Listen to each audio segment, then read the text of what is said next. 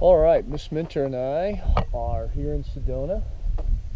Actually, we're at Schnebly Hill. We drove across from Munds Park on the old road, which, if you've ever done that, you know how rough and rugged it is. Today there was some snow on it, but it was it was really pretty doable. I didn't have to put chains or anything on. You can see there's some snow on the other side there. And of course, it just gets prettier as you go. Such a gorgeous place. That's our full circle of where we're standing. So we're going to head down and hike some of the Sedona trails and then head to Miss Minter's favorite. Is that your favorite Starbucks? Maybe? Prettiest. Prettiest, mm-hmm. that's for sure. Should be nice. Thought I'd show you a little bit of like the Schnebly Hill Trail is like. If you've never done this, it's an extremely rough road for vehicles. If you're a four-wheel driver, it's kind of boring. But if you're a, you know, if you got your car and you're trying to do this, forget it. So you can kind of see the terrain you battle and slow you have to come down this because there's just nasty nastiness all over the place. You kind of have to pick her out and shoot it and so you wouldn't want to do this in much less. Laura and I are in our it's not a four-wheel drive but it's a traverse it's kind of a truck chassis and you can see even with our big tires and all of that how much shaking around and knocking and all that kind of stuff there is on this road. And it's pretty much like this the whole seven miles down. I think it's seven, I can't remember. But it's slow moving, that's for sure. You get to a place like this where you even got ice and snow. Because it's in the shade.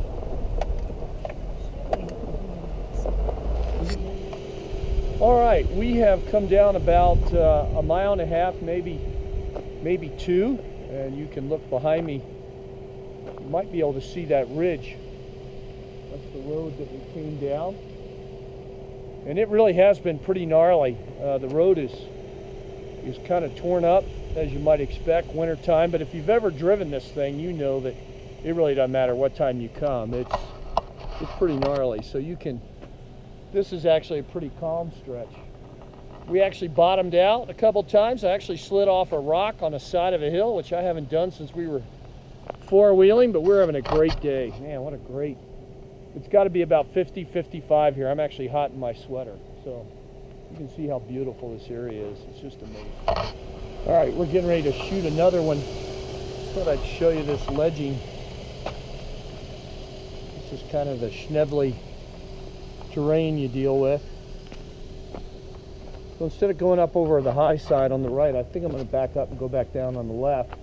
Although you could shoot it, now that I'm looking at it from the downside, you could shoot it right there over those two. But anyway, we're just having a really good time. I think I'm going to come back up and come back down that way.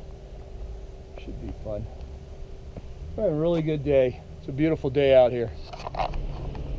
All right, we're back in the Jeep trail area. You can see that. We got the guys coming down. A whole bunch of them. All having a good time. There you go. Wave at the camera, guys.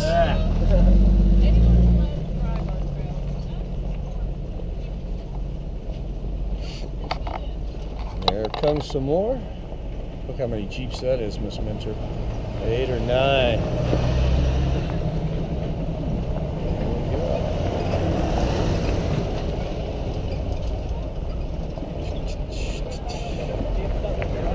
Hey guys! All right, we just got down, and Miss Minter and I just took about, I don't know, 45 minutes to an hour maybe, at least, Laura said, uh, climbing down from the top, which is right behind me, right over the car. And uh, the place where all the Jeeps were was a gnarly, nasty little climb. And uh, we slid off two rocks on the way down. Had to move a boulder, had to build just a tad uh, to get out and uh, you see Sedona behind us, parking lots and all that. So we're going into town to have lunch now at one of our favorite little places that was really fun. We had a great. I think we left the house at 10:30 or so, and it's probably afternoon. So we had a great time. Then we're gonna go hiking later today. So it was a good day. All right, we're literally are in the last quarter mile before they have the sign that says "Do not go," and you can see why. If you had a regular car, this would beat the daylights out of it. You have to be careful and drive with your brain in gear. It's about 12:46 now, so it took us at least an hour to get out. You can see how gnarly it is just to do that five, six miles from the vista down. Passed a ton of the jeeps, as you'll see in this video. We just really had a good time, and now we're just about out. Just got to be careful here as we climb through the last little bit of this.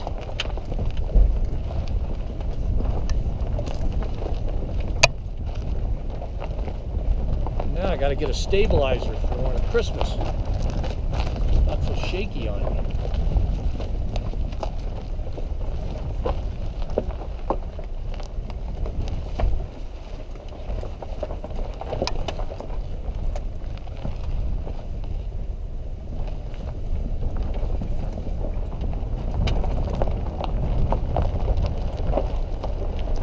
And we are out. You can see the parking area here, and we're back to Blacktop. That was super fun. Yep. Well, Laura and I are here in Sedona, and we're going downtown to catch a bite in Old Sedona before we go hiking. And uh, you can see this is why we love this area. It's really, really pretty. Right up there. Trying to grab some lunch somewhere. Don't know where yet. Okay, we're at the Artifact. We're somewhere having lunch. Ice cream shop here in downtown. They recommended. I think it's awesome. Great day. Sedona's crowded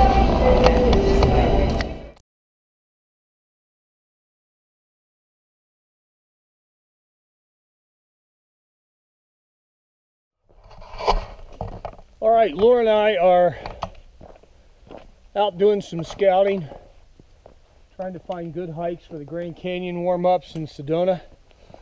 We are on Little Horse Trail, which is a relatively easy hike, be a great January one. It's around Bell Rock area, not too far from here. And it's a Obviously in January, as usual, you're not going to have any shade, but nice area, cool. Should be perfect for a wintertime hike for everybody next month. And you can kind of see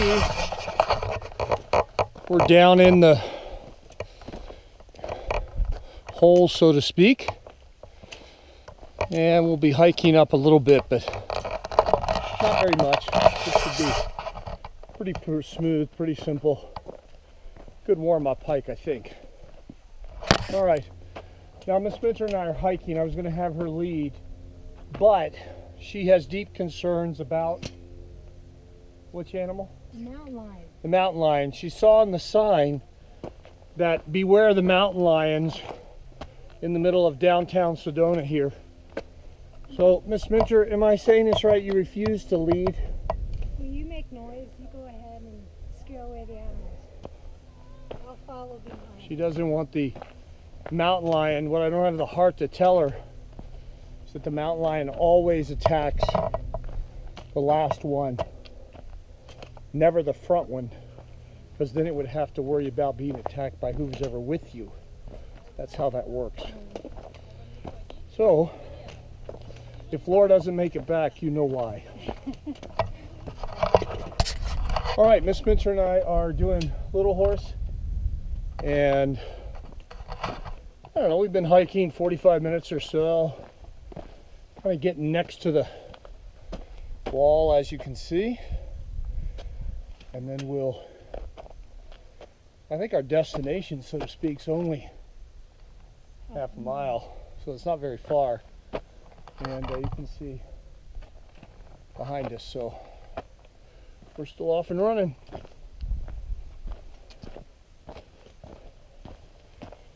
And I'm thinking where all those kids are playing is probably Little Horse. And they're probably riding it. What do you think of that? That's it, I think. All right, lots of bikers. How many we just passed? Oh, Probably eight to ten, maybe, both ways. Yep. We're in a little ravine here between. You can see people up on that rock playing. Yeah, that wasn't your horse. So that it. looks like that wasn't horse, or there's another way up. Maybe it wraps around. Who knows? We'll see. Sure is pretty here, though. Really pretty.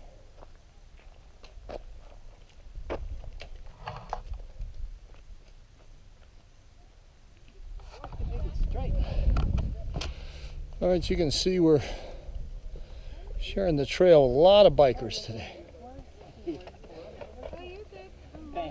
good. So Eli, you can go straight at the top. All right, we're on top of Little Horse. Say hi, Miss Minter. She's up here. This is gorgeous behind us. Tempted, Mike Larry, for you and I to climb up the point there. That ridge right there. Rock sticking out the bottom of the base. I'm thinking you and I on our warm-up hike, that'd be pretty cool. And that's the way out of Sedona behind us. It's a really pretty little area here. There's another trail over there somewhere, but we're going to try to find where that connects. We still got a little bit more time before we call it a, a day. It's pushing quarter to three. And I'm at almost 10,000 steps counting the bumpy road down here.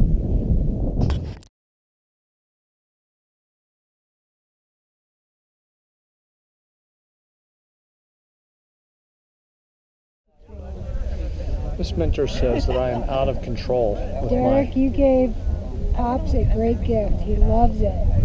He takes it out every five minutes. I don't understand how your mother cannot enjoy these.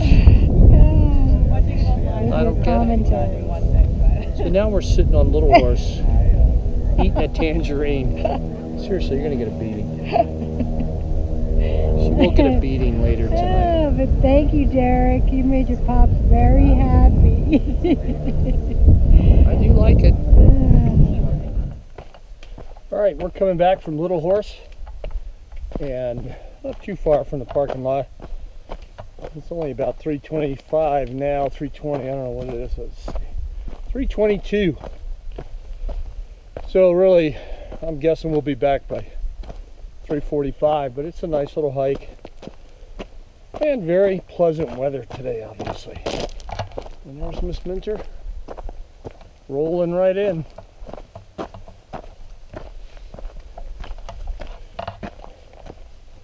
Won't be too much longer. We'll be drinking Starbucks. That's the key thing you need to remember for those hiking with Miss Minter. Starbucks is less than four miles away, which, as you know, is a critical, critical issue. Keeps all of us safe if we keep Starbucks within reasonable distance. Over and out.